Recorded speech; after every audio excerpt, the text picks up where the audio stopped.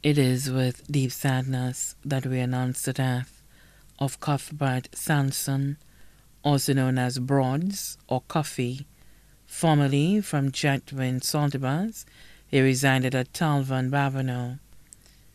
He departed this earthly life at the OKEU Hospital on Sunday, 20th November 2022 at approximately 6:55 a.m.